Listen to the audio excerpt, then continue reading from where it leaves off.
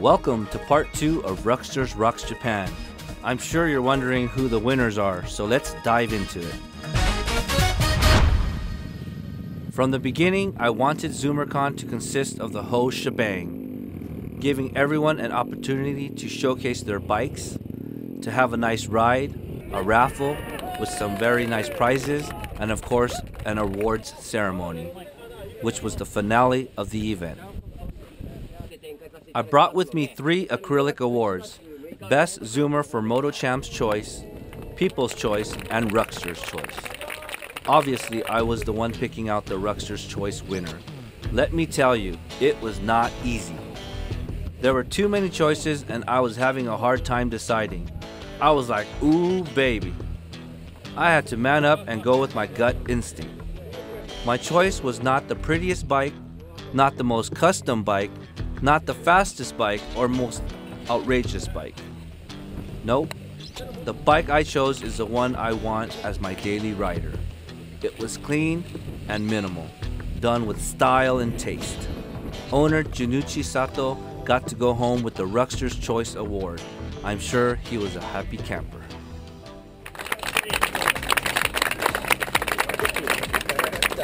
Moto Champ's Choice winner had a very stylish bike. It was a blend of JDM and USDM ideas. The lucky winner got to go home with two awards, since MotoChamp brought their own trophy to present.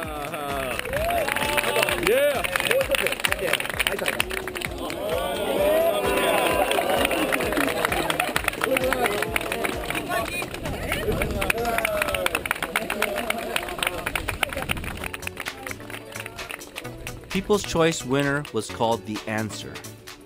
It was the answer to what is happening now with the Zoomer scene in Japan. 90% of the parts on this bike were USDM, and the people ate it up.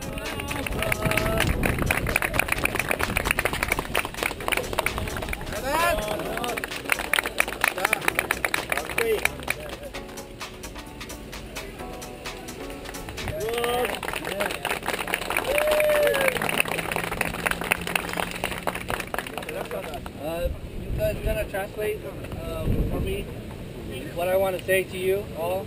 Um.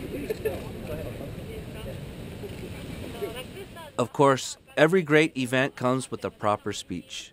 My team of translators worked their magic, and Yuka Ozawa was kind enough to be my speaker.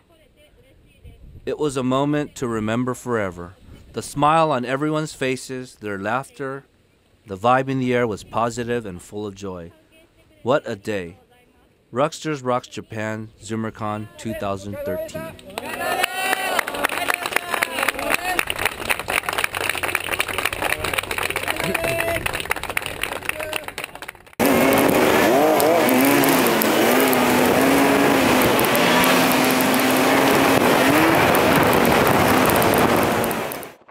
The following Tuesday after the big show, we decided to visit Mount Fuji and enjoy the scenic view. Mount Fuji is Japan's highest mountain and it is 12,388 feet. We're about to take the gondola up to see Mount Fuji.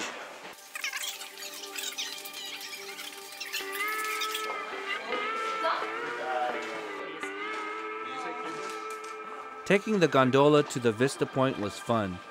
The visuals reminded me of Lake Tahoe.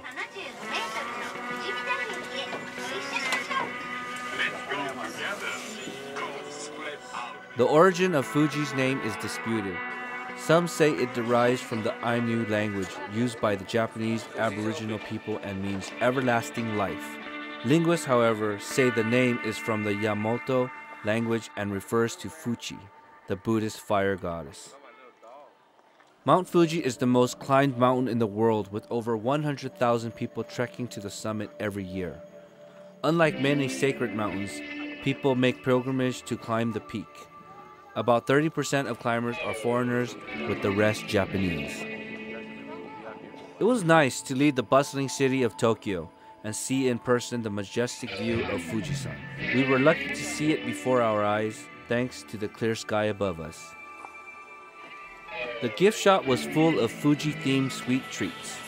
We went for the most popular snack, which was this mochi like pastry drenched in some kind of sweet sauce. It was tasty and interesting. For some reason, there are rabbits everywhere. I don't even know what it means. Lover boy uh, Dominic here, trying to get cute. Going down. Instead of taking the gondola down, we decided it would be nice to hike the trail back down to Lake Kawaguchiko, where our car was parked. After the vista point, it was time for lunch. We picked the most interesting piece of architecture on the valley floor. Hoto Fudo looks like a giant igloo. What a trip! They specialized in this fat udon-like noodles, served in these huge stone bowls. The taste was amazing.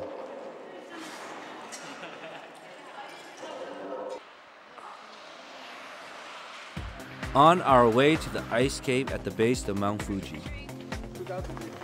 Lava rocks on the floor. Remnants of a volcano blast. So this is the suicide board, preventing suicide.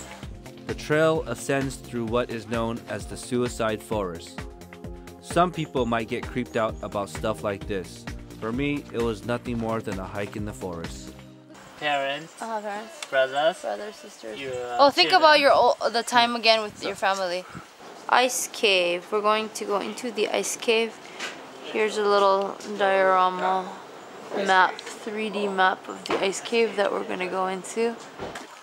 This used to be one gigantic uh, lake, Uh, like, river, Oh. lake, and then it, after the- after Mount Fuji Lava. exploded, the lava separated them into five lakes. Oh. Yeah, now it's five. About to enter the ice cave in Mount Fuji. Be careful, it's slippery. After 30 minutes of hiking, we finally reached the ice cave.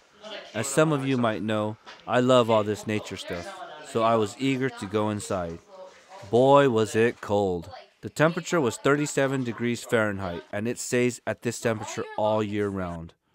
The cave was once used as a natural refrigerator for silkworm eggs.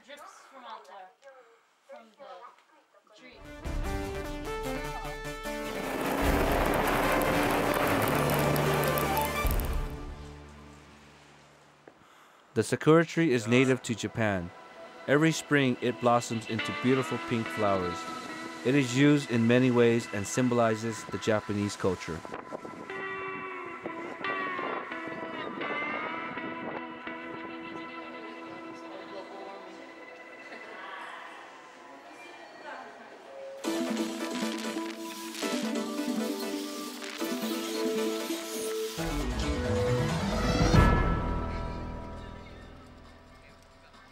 We've all seen this in movies, but never in real life. Life in Japan is about efficiency and utilizing space. This parking machine is a direct result of Japanese ingenuity. We're at the Takashimaya Times Square Mall, and let me tell you, this place has everything. After our tasty lunch, we were ready for dessert. There was an entire floor in the mall with nothing but desserts. I mean, all kinds of delicious treats. It was nuts.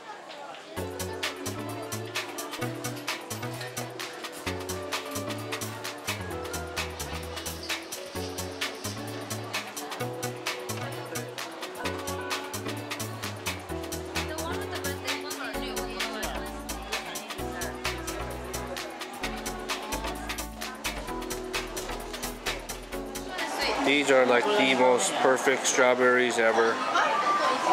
Look at these strawberries. They are perfect. Holy moly. I was fascinated with Japanese strawberries. They were all neatly packed, all the same size, perfectly plumped red, and not a speck of dirt on them.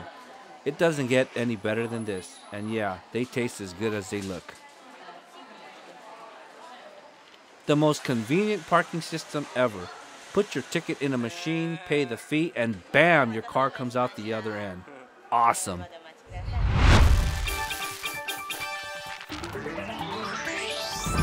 We were invited to the MotoChamp office, which is located in Shinjuku. The parent company is San E Shobo. They publish over 40 magazines and has been around for about 40 years. Nari, the chief editor of MotoChamp, gave us the tour and went through some ZoomerCon details. Hello.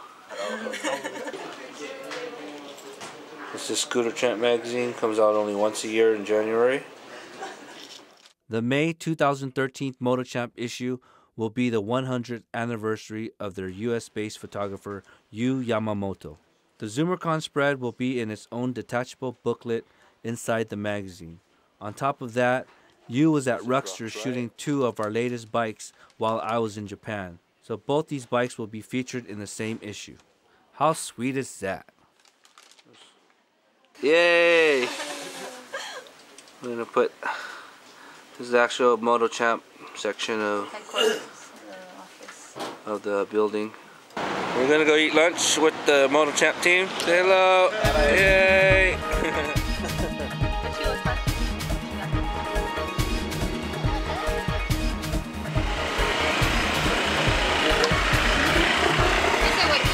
Yeah. These are Honda PCX scooters. Very new to the market. So I'm on a Honda PCX um, 150cc and I want to show you I guess in Japan they have this idling stop. Come over here. So when you're at a light and you stop your scooter the engine shuts off. And when the light turns green, you just go. And it turns back on. Very eco-friendly and efficient. That's cool.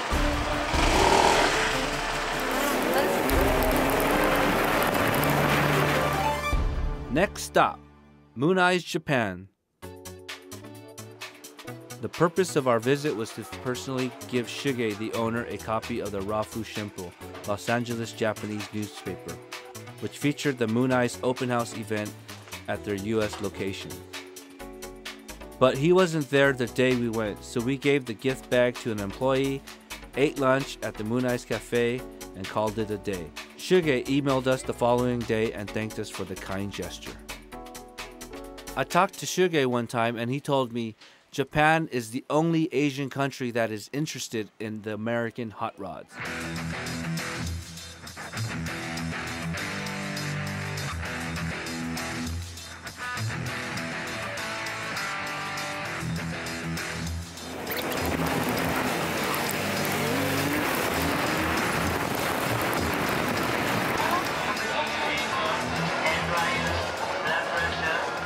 With every great story, there's a greater ending. My two weeks in Japan was a real eye opener. Everything I experienced was so unlike what I'm used to. The digital toilets with heated seats, the sublime taste of fresh sushi, the level of customer service, the efficiency of the subway system, and of course the badass Zoomers. Me and behalf of Rucksters came to Japan and united the entire Zoomer community into one place, bringing not only the riders together, but the shops as well. We all joined forces to create the first ZoomerCon ever, and it was a huge success. Mission accomplished. Thank you from the bottom of my heart.